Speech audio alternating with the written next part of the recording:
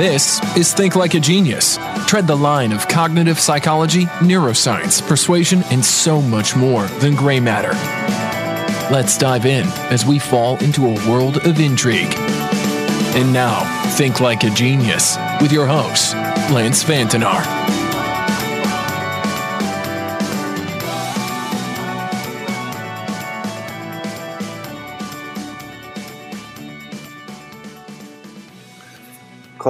Thank you very much for coming onto the Thinking Like a Genius podcast. I was very pleased to actually have a discussion with you initially about the, the podcast and the topic today.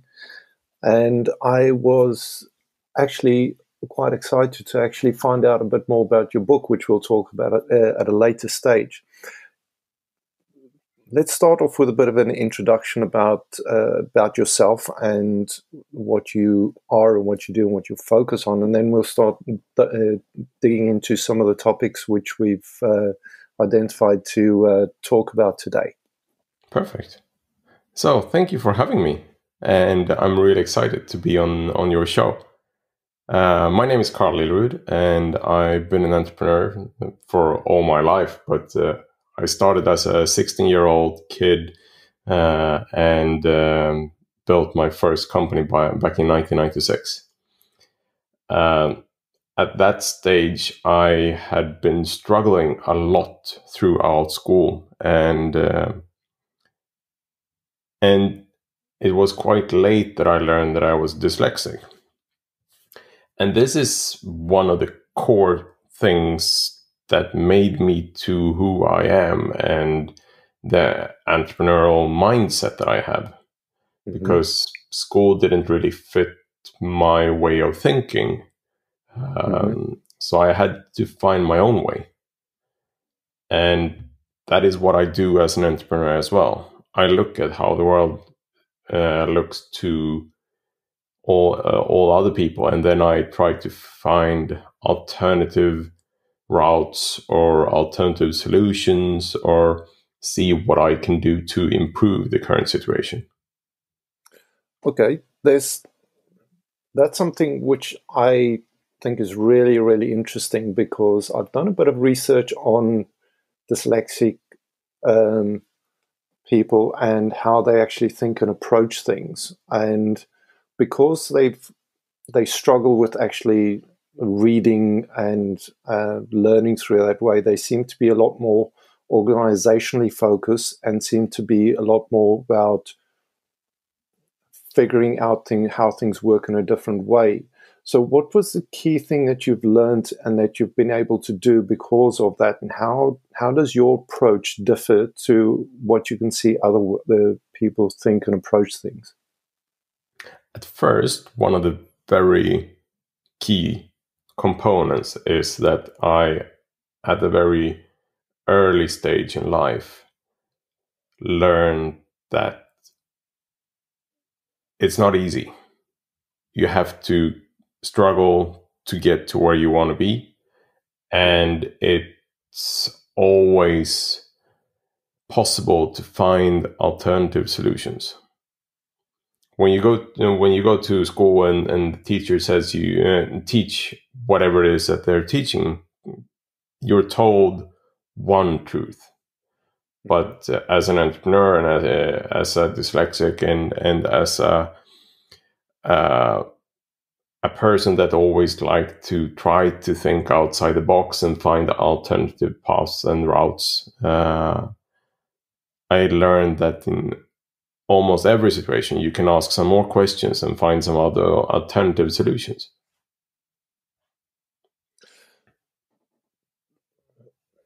This is probably quite key in that your questioning seems to be the most important aspect about pulling out the a way of actually looking at things from a different perspective. Yeah, definitely. When you so, what is your you could say almost your methodology when it comes to questioning and actually investigating things and start looking at things from a different perspective. Because obviously, the first thing is is actually framing the the the, the issue and actually identifying the issue. Um, and secondly, is actually that I think you mentioned it in your TED talk, which we'll talk about later is that being able to frame or identify the problem uh, you mentioned is as halfway to actually solving the problem. So, how would you look at it to start one identifying the problem, to start framing a solution to to the problem? Um, to start with, you need to understand the problem. Mm-hmm. If you don't understand the problem, you will you will have a very hard time solving that problem. And most people believe that the the first question is a question that they need to answer, sort of. But in reality, when you look at a problem, a question, or some other type of complexity, it's quite common that um, there's something else that's causing this situation, mm-hmm. or that the the truth lies in in a more complex answer and you will not get there if you don't know how to ask the right questions. Mm-hmm. So at first, you need to not just accept the assumption by challenge, uh, but challenge the assumption a little bit and see if if that assumption actually is correct. Um,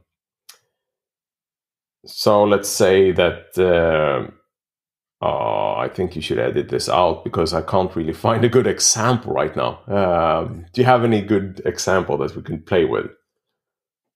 Um, let's say you're starting up a new business.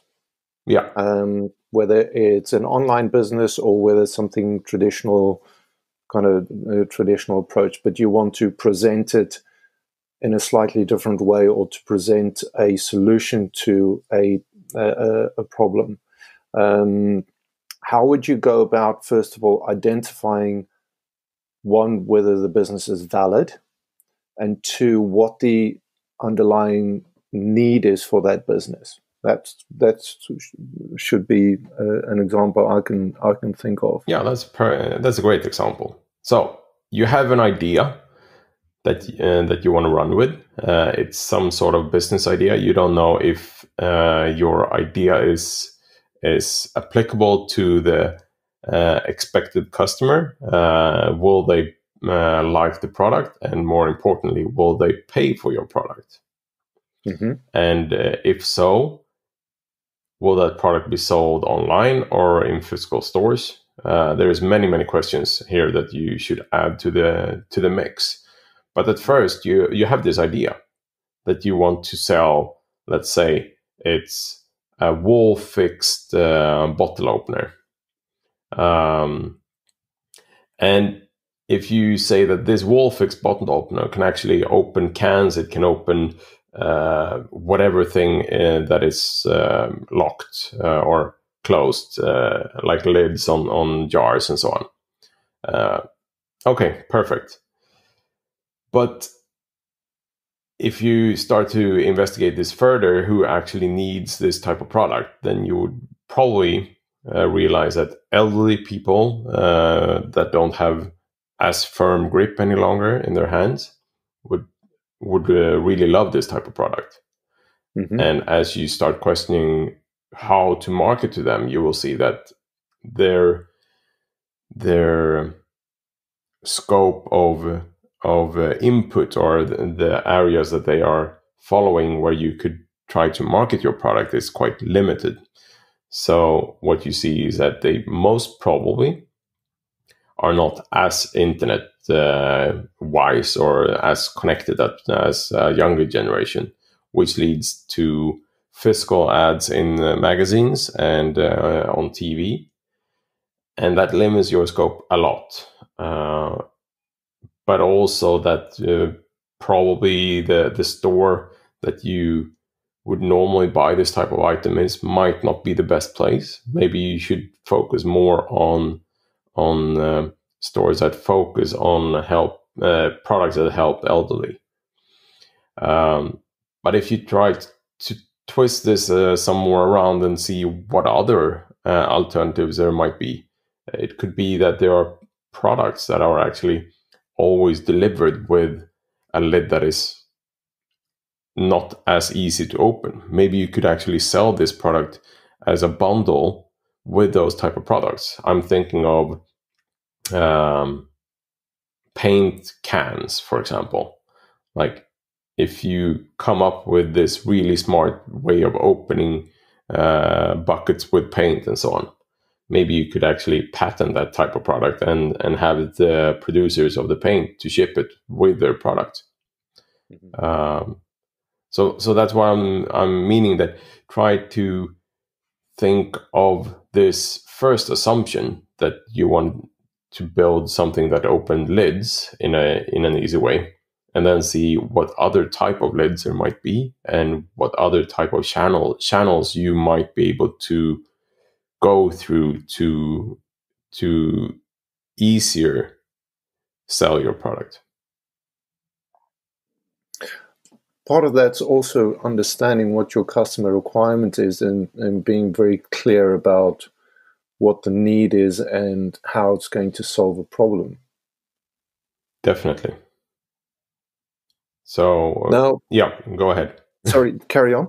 So, uh, yeah, as you said, we need to understand our customer. We need to understand their uh, the problem that they are experiencing because your solution might not actually be connected to the problem that your customers are experiencing, mm-hmm. or the price of your solution might be higher than what they feel is worth paying for solving their problem. Like for example, if if uh, if an elderly person would have a problem opening uh, cans of uh, of jelly or whatever, um, they would probably not want to pay two hundred dollars for for this device uh, because then they feel it it's acceptable to have to struggle a bit with that can and, and potentially uh, not be able to open all, all of them even. Yeah. Uh, but if your device would cost 50 cents, then that is something that is uh, in a totally different uh, area of interest. But also, if your device would be solving some other problems, then your your way of marketing the product might be um, able uh, you might be able to attract uh, far more clients so yeah. try to see what you can do to really narrow down. And then when you have done that uh, when you have found your persona or your uh, the best possible client to sell to then you can uh, start looking at uh, bells and whistles to your product. But at first it's really important to try to find the exact right person to sell to. So what you want to do is to uh, to make sure that everyone that sees your product want to buy it, but not that everyone that you uh, that are able to see your product would want to buy it, but you only present it to the people that are the exact right combination of of uh, of lifestyle and requirements. Hmm.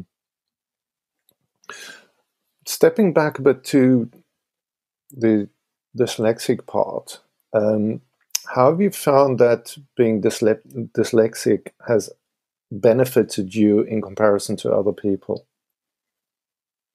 Oh, it's it's an ability. It's definitely not a handicap.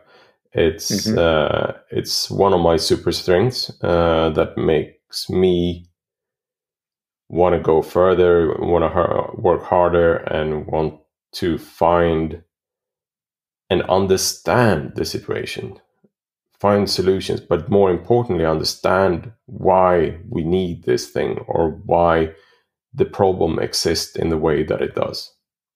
Mm-hmm. Um, so, uh, going back to school again, when when I was taught to um, to learn something in school by memorizing, it didn't really fit my way of learning because memorizing does not connect to me learning something. Uh, and as a dyslexic, I believe that I needed to understand why things were the way they were. So it, in some situations, it took longer for me to to get to the point where other were because I just accepted it without questioning it. Mm-hmm. But in the end, I understood it from far more angles so that I could could apply that finding and that learning uh, or that understanding into other situations at a later stage, making me uh, be the winner in in every situation as I actually could apply complex uh, methods and ideas to other situations. So, uh, talking about how you looking and, and applying it, so you you you try and find ways of relating what it is that you're learning to other parts of your uh, say knowledge problem solving or something else. And then you're very much looking at applicable parts of, of what you're learning instead of just learning for the sake of learning. Is that correct? Yeah definitely. So let's take an example there. Most people when we meet someone uh, we try to put them in a box. Like mm-hmm. okay this person is the same as these other people that i have met. And then uh, let's say i'm a, an entrepreneur. So you would put me in the box with all the people that you met that are entrepreneurs. And you know that i'm uh, uh, i'm male so you would put me in the entrepreneurial male box uh, and then after a while as as our discussion goes on you will find more and more features that i carry with me and that would define the box that i'm in more and more but mm-hmm. it's for most people it's very complicated to add one new box to your set of boxes. You always want to have the ability to sort of compare things with other situations or other things that uh, you have experienced before. In my situations, I always try to add new boxes. So I don't, uh, I try to get to the point where I can uh, add one more box in my data bank, so to say. So instead of trying to say, okay, so this guy is the same as this other person, let's say Roger, uh, instead I try to say, okay, so this person is a little bit like Roger, a little bit like Tom, and a little bit like Anna. Uh, let's uh, create a new box for him and put him in there, uh, but let's connect him to these other impressions that I have from other people. And so I sort of draw like a mind map in my head with all these dots connected. Uh, and I, I try to always make my mind map evolve instead of trying to just put everybody in, in the same uh, boxes. That's quite interesting because it's you are expanding a lot of the processes that you could say the brain uses on a uh, on a on a normal basis when it actually starts building up, uh, you could say, knowledge bases of people. Because um, my understanding of it is that the, the brain learns one through pattern recognition and two through categorization. It starts with general categories and then more specific categories, um, which you quite correctly highlight is that you've got an entrepreneur, you've got a business, you've got a man, you've got these are the way that the brain structures information to make it easier and faster to actually process information. But people can get comfortable just using these standard categories to quickly structure information and then they can actually miss some of the additional complexity which comes in, which you highlighted is that you start looking at cross pollinating information across multiple people, which makes memorizing things a lot easier because it creates something unique about, as the person you've named, say, Roger. And because you've got correlation across various people, but you also have it unique enough for adding additional, you could say, information structures and categorization and additional features or characteristics to make it easier for that person to be memorable and to be able to recall the information a lot easier. I think what you've highlighted over there is a really interesting aspect of being very open minded with the way that you uh, approaching and also listening and learning because it's it's something that I've tried to use a lot more instead of being quite inflexible or being very formulaic in the way that uh, I process information. I try and look at information for the sake of information and then see how it actually fits into the whole scheme of things. Because now what you start talking about is that you've got a lot of associated content or information which all maps back to a person, which builds up almost like uh, contextual information, gives a lot more, you could say, depth to the information that you're learning from or, or the information that you're receiving. Do you do yeah. you have that very much almost like an informational level uh, perspective or view on on learning and and when when you're meeting people and uh, situations? Yeah, definitely. Uh, and that's the way I like to work. Like adding as much data as possible to a situation and trying to extract as much data as possible as well. Because, mm-hmm. uh, and I cover this a little bit in my second TED talk as well, where I'm talking more about uh, our subconscious mind and how, how we operate um, and how a, a, a thought is converted into a memory when we start to connect it with all these different uh, other data sets. Mm-hmm. Uh, but we, with a thought, we try to uh, keep that thought alive uh, as long as we can, and that occupies some of our, our brain capacity. So what you want to do is to try to make a thought into a memory, and a memory is creating, created by connecting different uh, yeah connection points to that yeah. thought.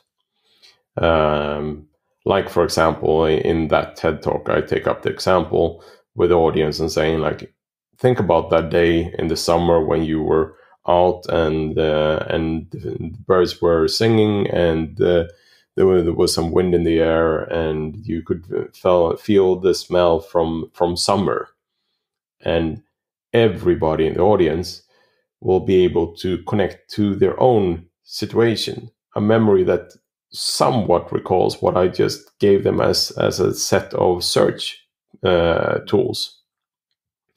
And that is how, how we should work. We should not be memorizing things just to memorize them. We should memorize things based on uh, patterns, based on on these data points that you can connect to other things. And by doing so, you will become so much more efficient at collecting information and understanding situations, people, uh, complex problems, and so on.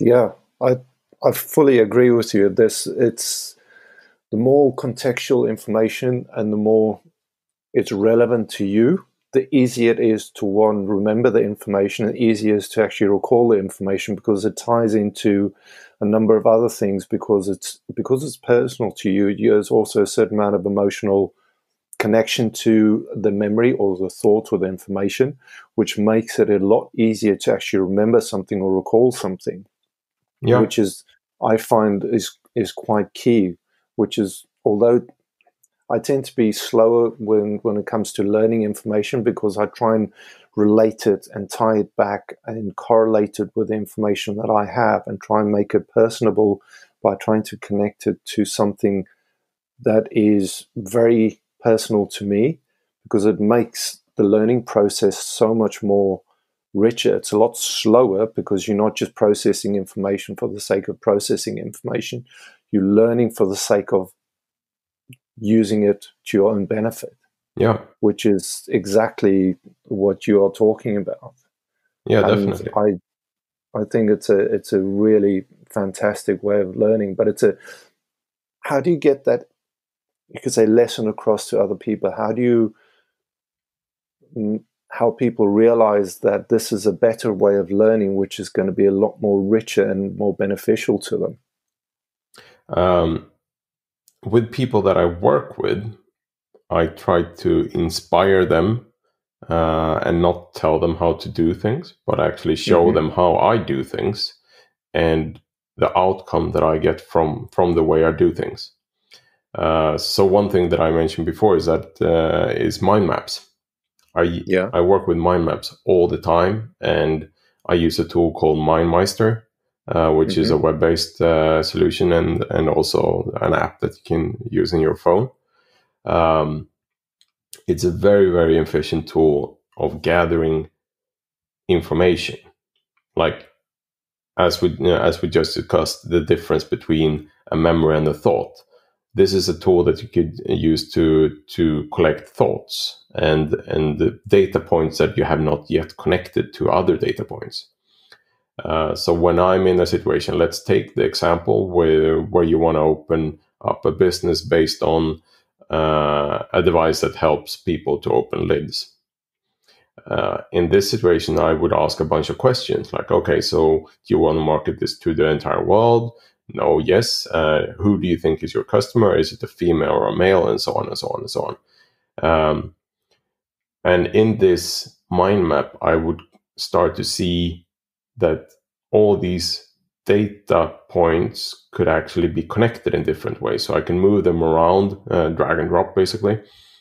Mm-hmm. And I can also create relations that uh, that depends on each other in different ways. And as people sit next to me and see how I do this type of work, they eventually re- realize that this is a really, really smooth process. While if they were to trying to write a Word document with all this information, it would take a lot more time. They would need to add a lot of uh, extra content to write the the sentences and the paragraph in the way that you would normally do. While working a mind map, you only add like the, the key elements uh, and you don't need to write full sentences and so on. So you save a lot of time, but also you see it like like a world map. You see it like mm. a painting in front of you. Okay, so I see all these da- these data points that I can move around, and I see that things connect to each other even though they are not connected yet in my mind map, and I can just make things more logical as I get more and more information. And you can see where a lot of interrelationship is between the various uh, areas that you're working with. Instead of a kind of linear approach, it's a lot more organic in the way that things are learning and, and growing. Exactly. It's more the way that my mind is working. And why would I try to work in another way than my, the way that my mind is operating? I mean, yeah. that is like that that is like recording information in in the third language like you would have to translate every time when you want to uh, pick something out of, of that situation I think you've highlighted or you've you've given a really good example uh, translating it into a third language because that's I think what a lot of people tend to do is they, they try and translate it into something else, which makes it really difficult instead of looking at how people process information naturally. And I think that's, I think, part of the education system, which is really difficult because the education system is structured on, you could say, old, almost Victorian processes of productive systems of making it a process, making it formulaic, various other things where yes, you do need processes to make things easier and better, but you have to make sure that it's organic and that it's it grows and develops and connects. And it there's a way there's a there's a there's a there's a place and a time to have a process and a checklist when you're actually working through things and and productionizing it but when it comes to the development side, it's very it's a lot more organic and a lot more fluid for it to be an iterative learning process because you've continually got to modify it and see what works and what doesn't work to actually help it develop to a point where it becomes, you could say, almost say the perfect product. Yeah, exactly. One of the things I wanted to uh, find out a bit more about is uh, reframing feelings uh, and the change of perceptions. So, how did you how did you start looking at that, and how did you start applying that to your your your business and your life and and how you do things? Um, yeah, it started a long time ago when when people told me that things was um, they use the word impossible, and uh, let me get back to that. Uh, but when people told me things could not be done, or that they thought that it would cost too much energy to get it done, which is actually what what people are saying when they use the word impossible, because the word impossible is just a word, just like with the boxes that we just covered. Um, mm-hmm. Each word that we have in our vocabulary could be seen as one box.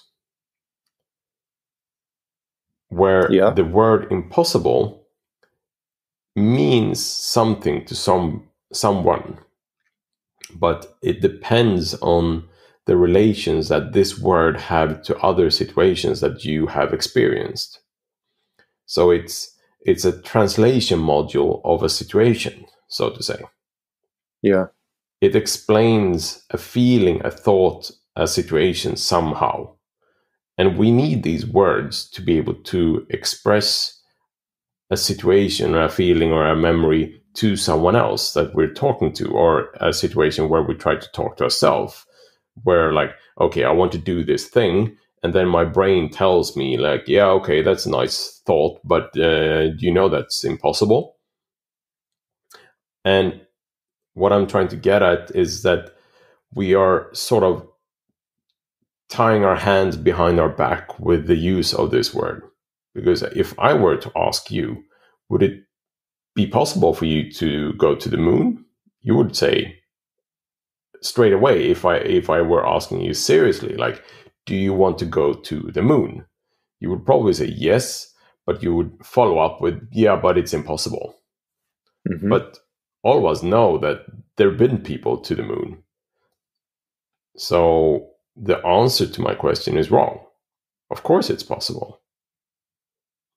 And if you try to dig a little bit deeper into that, let's say you want to go to Mars, or you want to go to a planet that is so far away that it would take 300 years to travel to that uh, planet.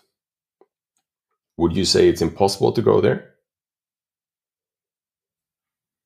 I'd say it'd be it's improbable, but it's not impossible. It comes down to how you try and find a solution for it. Yeah, exactly. Are there other ways of of looking at it? What one is it? What is a restriction? I think I'll uh, I'll reference some sometimes uh, something that Elon Musk did with his uh, with his Tesla products and his his car batteries.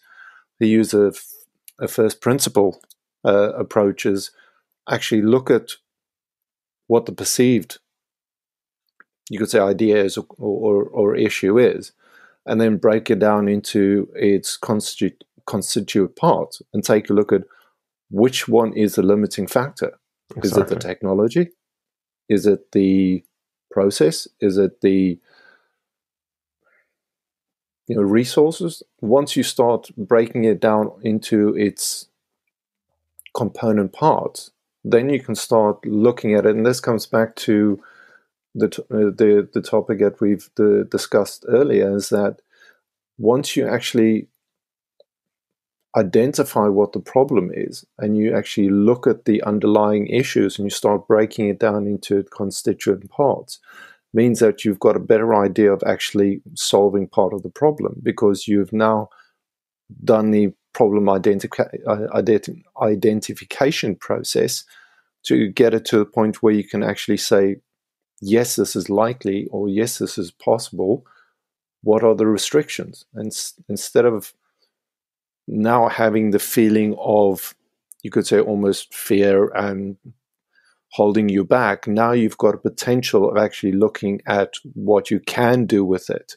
Now there's potential. Now there's creativity kicks in because now you actually start looking for ways of potentially solving the problem. And it gets to a point where you could actually come out with something that is a product or a solution or some idea out of it which is completely separate to actually looking at the um, problem that you were looking at.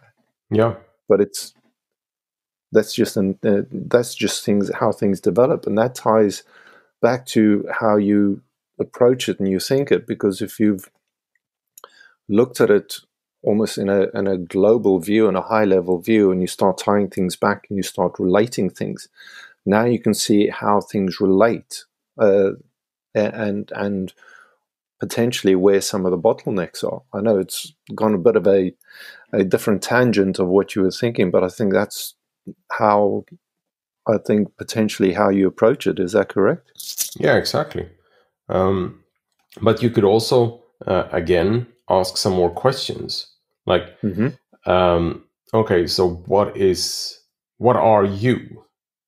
If we're taking the example of uh, you traveling to to a planet three hundred uh, years away from where we are right now, like, who are you? Are you your memories? Are you your body? Or are you your DNA? Mm-hmm. And and there's all these things that we could add as extra questions to actually identify what it is that you want to do. Do you want to make sure that your current data bank or memories and experience and everything get to add experiences and memories from this other place. Then potentially there's a te- technical solution to this eventually where we can upload and download memories potentially.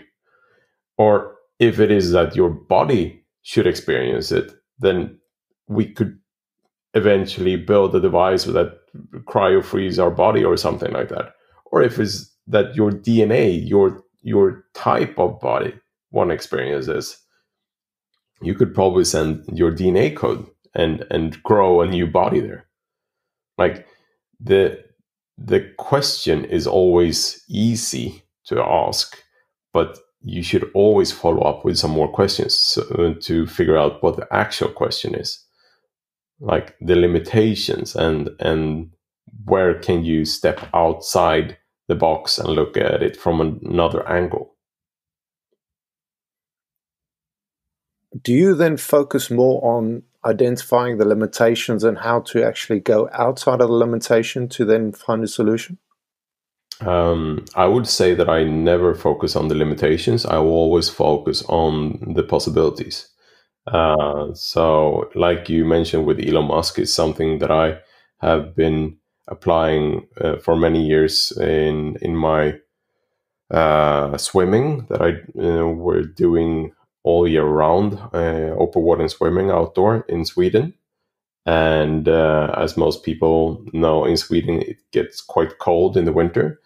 And um, at what one point of time, the the water freezes to ice, and that to most people is an indicator that it's impossible to do swimming. Mm.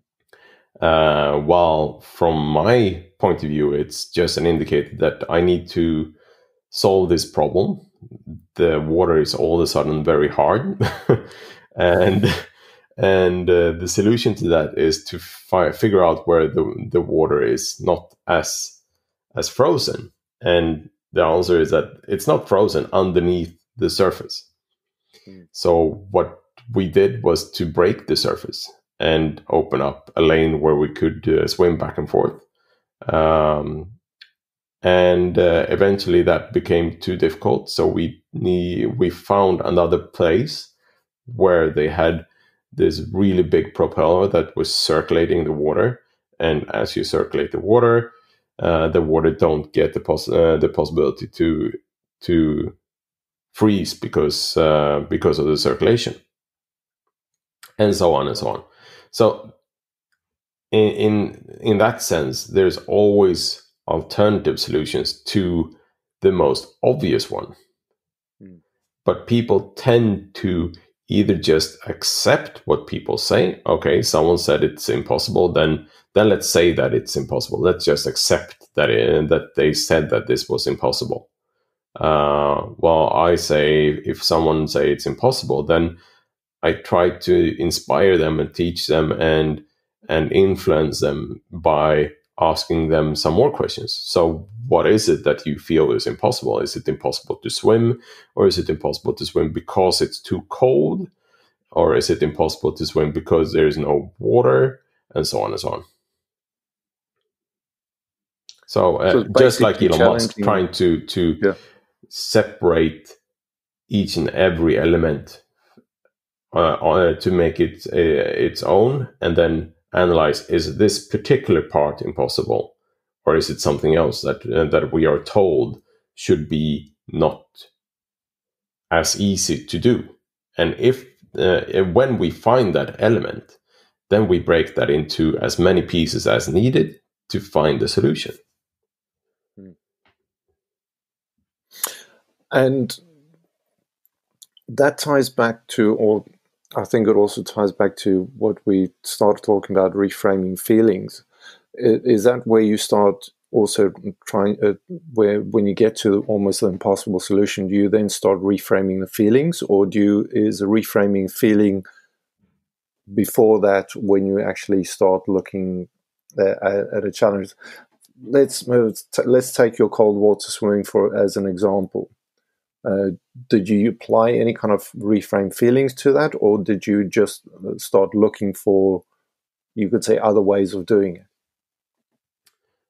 Um, I was focusing on finding the solutions to the uh, the situation, uh, except uh, or and and not reframing the feeling, but actually accepting what it was and then throwing that away.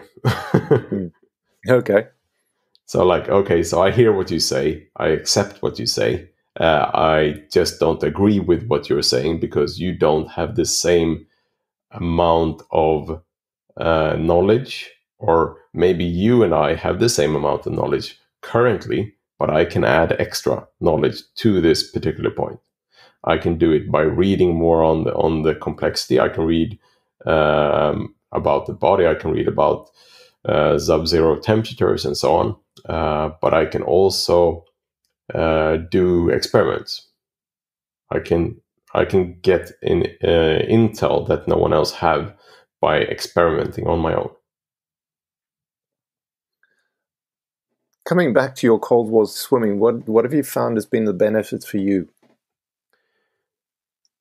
The there's so many benefits from this. It's it's really really interesting.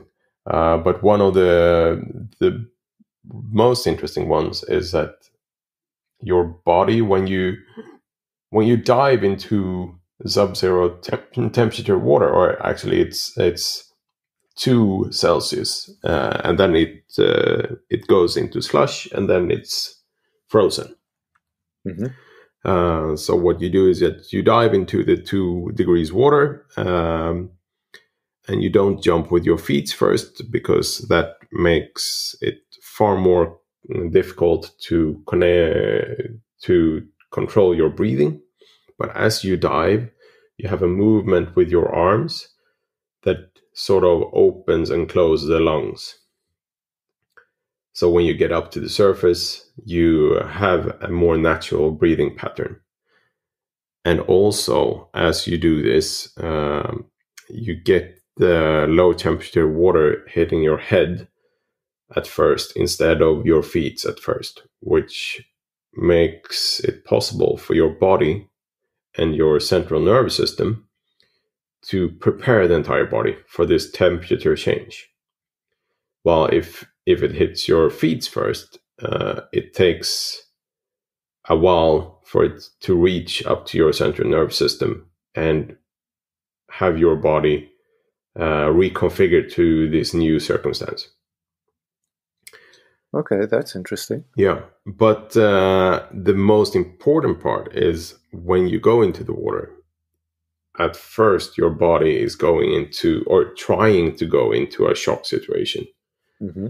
Uh, after a while, you learn how to control that and so on. But uh, let's not go into those details right now. But what I want to say is that your body, all the muscles in your body tense and really struggle to try to cope with this new situation and this new temperature. And after a while, as you struggle through that phase, your body start to relax and they see that okay, this is actually not as frightening as as we first thought, so to say. Mm. Uh, and what happens is that all your muscles inside your entire body relaxes. And that is that is an amazing feeling that i have not found any other way of experiencing. Uh, because when we go about our lives uh, and and just walking on the street or sleeping and in whatever situation it is we have a large amount of our very small muscles in our body that is actually flexing and uh, are trying to cope with one, uh, one or another situation like how we tense our our face muscles and all that. And as you go out of the water you are relaxed and you feel you feel amazing in your body in your physical body and another thing that happens when you go into the water is that you flush your active thoughts, as we covered before, the difference between a thought and a memory. All these active thoughts are kept active so that you don't forget about them. It's like bouncing ball uh, uh, balloons up in the air. If you don't have any gas in the balloon, they will fall to the ground. Uh, but if you keep on bouncing them, they are up in the air. Yeah. That is what I mean that our thoughts uh, are in comparison to our memory, where the memory is something that we can um, put in our pocket and pick out whenever we want. But a thought needs to be kept alive. And to keep a thought alive, we need to touch it uh, every now and then. Like, okay, so you have this to do list, but you don't write the to dos down. So you need to uh, every, uh, every now and then in your memory, you just revisit this thought. Like, okay, I need to remember to go to the dry cleaner today. I need to go to remember. Uh, I need to remember to go to the dry cleaner. Okay, we kind of loop these things, yeah, to make sure that we don't lose track of them. And in a situations where your body feels that, okay, uh, this is something outside the ordinary and there's a risk of dying. So we need to flush all these things that actually occupy our mind and we need to make use of our full capacity to get out of this situation. So what happens is that your mind just flush all these thoughts away. They're not gone. They're just put away in, in another memory bank somehow. Mm. And as you go out of the water, you are you're so fresh in your uh, mind so you can really feel like you've been sleeping for yeah.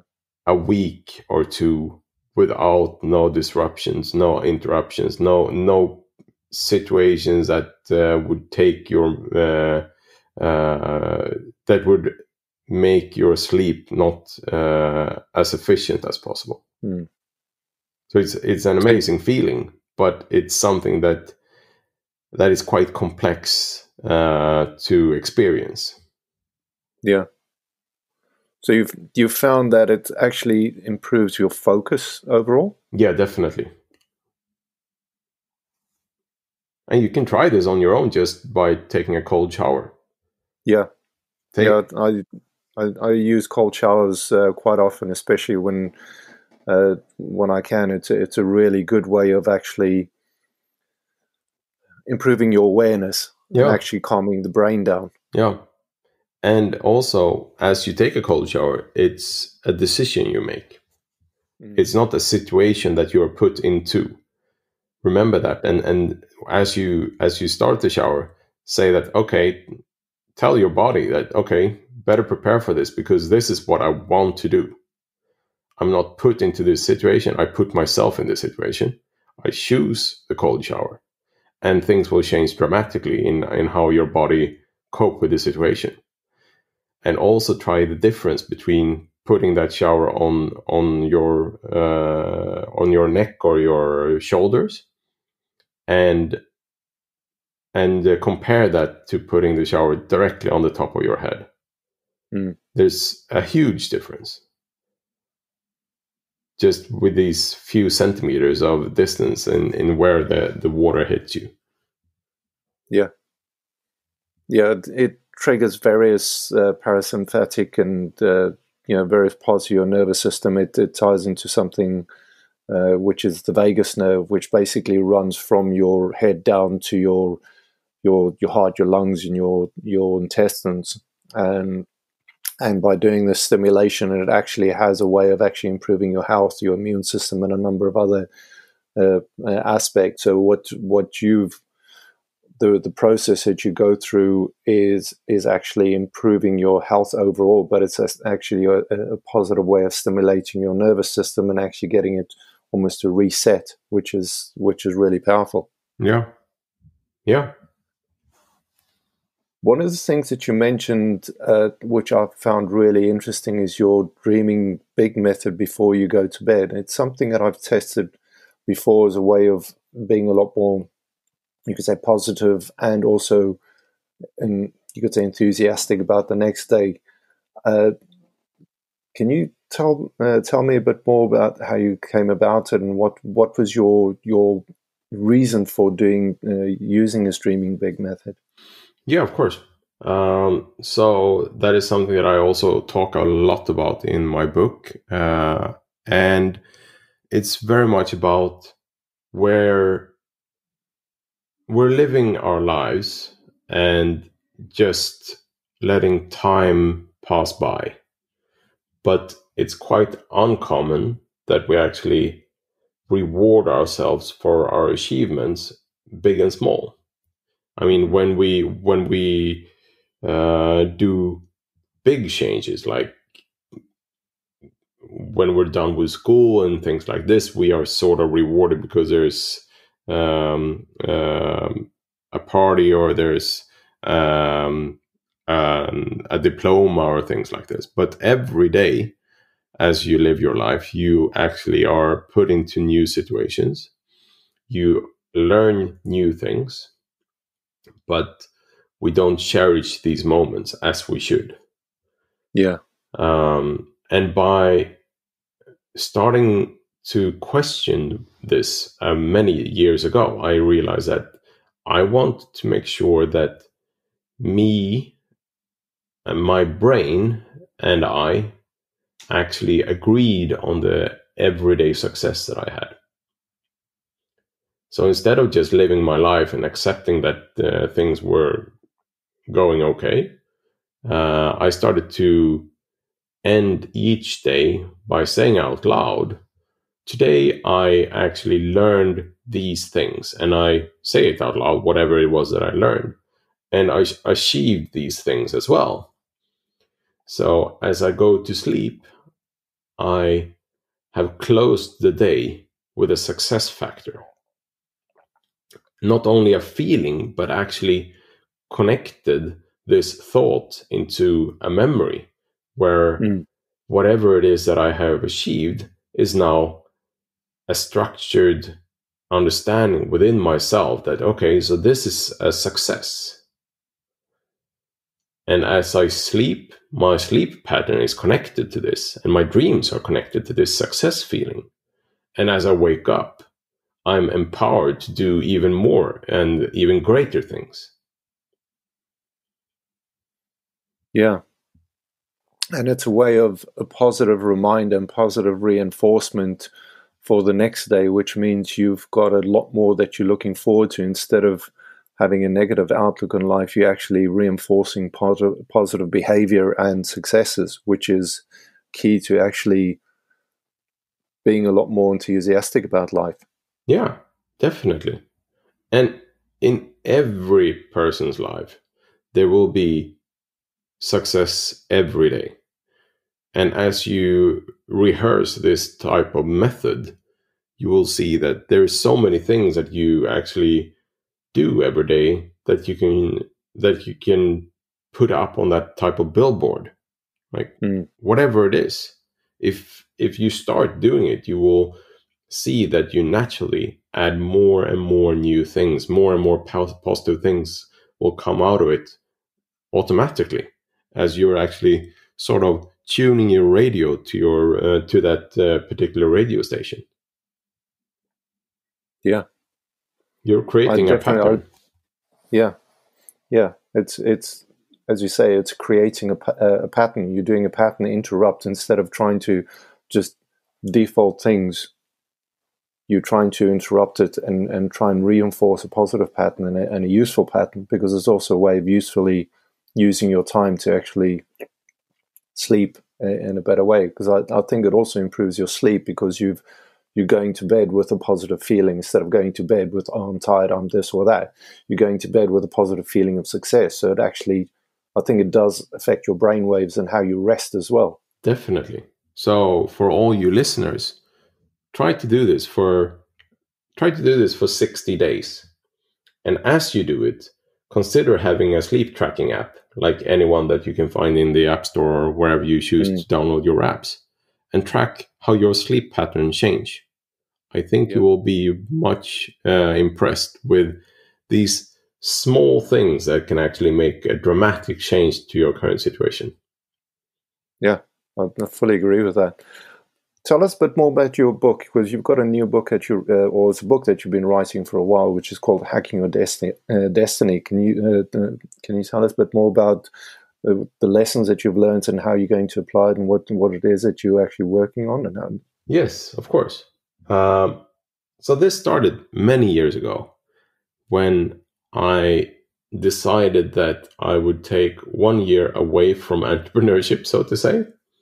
Mm-hmm. Uh, I had been going full throttle uh, on adventure for quite some time, and I needed uh, some time away from from uh, doing all these things that I normally do, running multiple businesses at the same time and so on. Um, but it's not easy to just switch off a brain that sort of always look for for new things to do and new ways to solve current problems and so on. Um, so what happened is that my brain was going at full speed, but my body was trying to uh, slow down. Um, but what I realized that if I is that I could use my my thought process and my brain capacity to to challenge myself and to improve myself. So what i started to do is to identify the questions that i was carrying around. Um, and to to do to make this possible i wrote down all the business ideas that popped up in my head every now and then uh, into a huge mind map that i just try I used it to record these thoughts basically in yeah. as few words as possible uh, so that I can uh, just uh, save them and uh, move about my life as I would normally instead of trying to keep these thoughts alive as we discussed with the balloons and everything.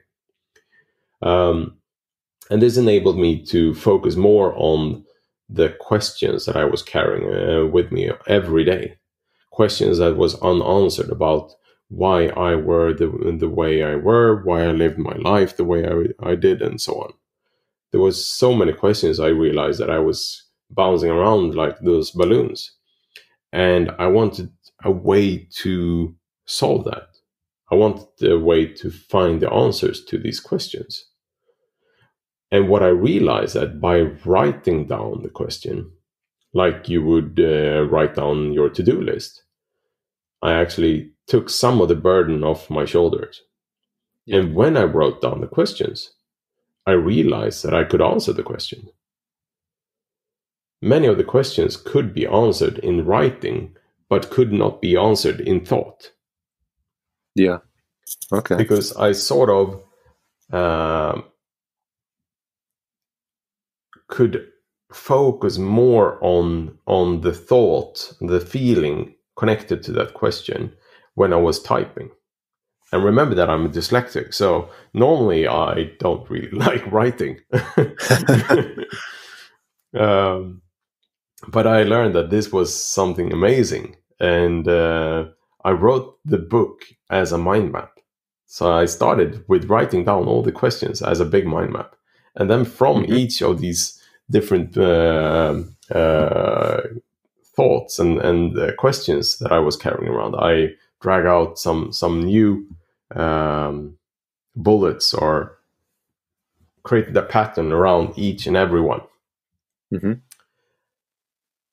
And I realized that by answering one question, I found the answer to another question and how they connected to each other, how they interfered with each other, and how they uh, were holding me back. So, this is something that I explain more in detail in the book. Uh, yeah.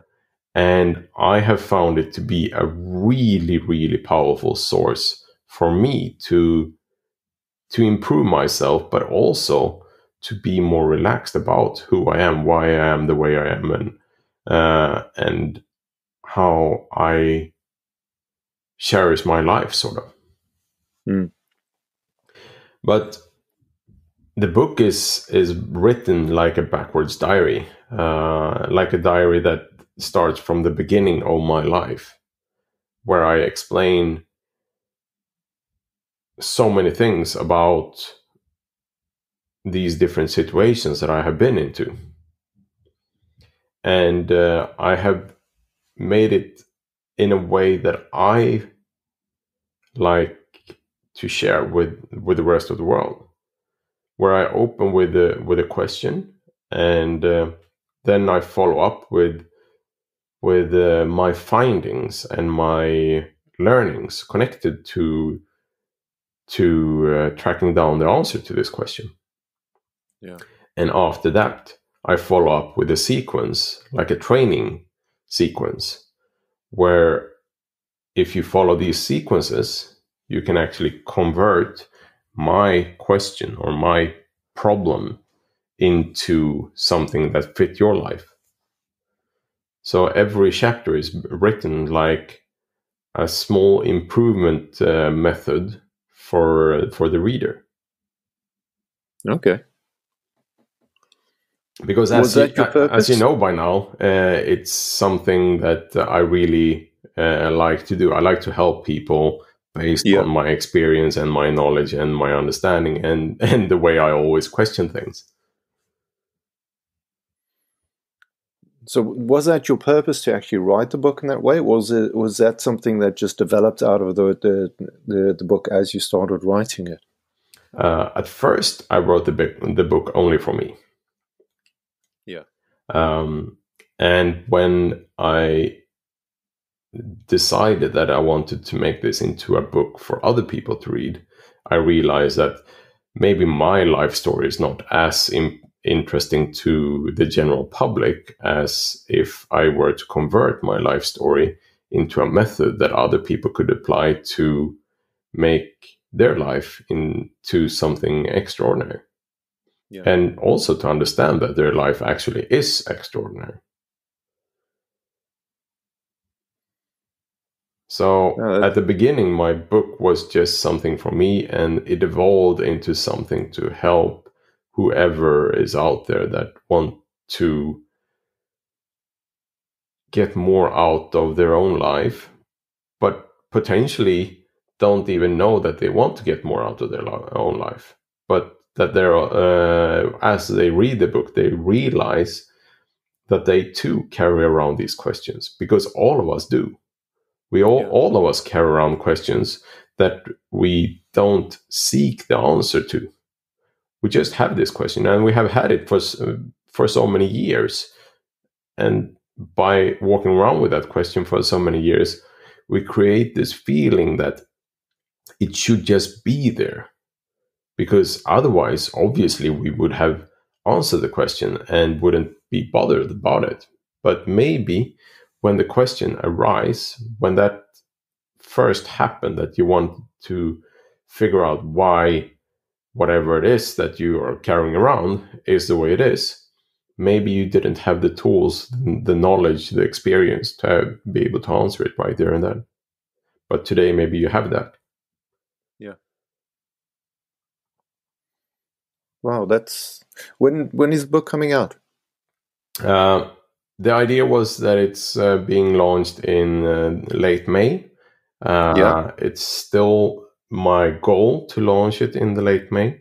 Um, so the best way to know about the actual book launch is to go to my website, Karl Lillrud. That's K A R L L I L L R U D dot com. And then go to the author section uh, where you can subscribe to know more about the launch. Uh, yeah. Because even though, uh, as I wanted to be launched at a particular date, it's not always the way that uh, the public, publishing houses are operating. Mm. Yeah. Yeah, what I'll what I'll do is I'll I'll share your website and also um, your TED talks uh, on the show notes because I think they're well worth listening to, and I think there's a, there's a lot of information actually still in the TED talks which we've not even touched on. I mean, the what what we've discussed over here has, has, has been fantastic, especially with regards to uh, the you know the challenges there that you've actually used to your benefit is you know dyslexia because it's it's something that I've been curious about for quite a long time. I've spoken to a number of people about it, but I've never really had anybody that that I could actually interview to actually say to them, look, you you have got a massive advantage because of the way that you think, and it's it's been fantastic to actually speak with you. Yeah, it's been really interesting to be part of your podcast as well, and thank you for having me. Karl, it's been a pleasure speaking with you. I really do appreciate your time, and I wish you the very best for your uh, book launch. Uh, I've signed up to to the uh, launch to actually uh, get paid or you know to to be aware when it comes out, and I'll definitely will get the book. It'll be on my uh, my list of uh, list of books to read and actually work through. So I'm looking forward to seeing how things progress and I wish you the very best with our current scenario with Corona and everything else. And you know, definitely keep in touch, and we will uh, hopefully speak again sometime. Yeah, definitely. And again, it's been uh, really interesting uh, chatting with you, and I hope that uh, you listeners have been inspired to improve your way of living your life and uh, and also to love yourself in a in a way that you might not have done before. Definitely. Have a good day. Thank you so much. Take care. Take care. Bye.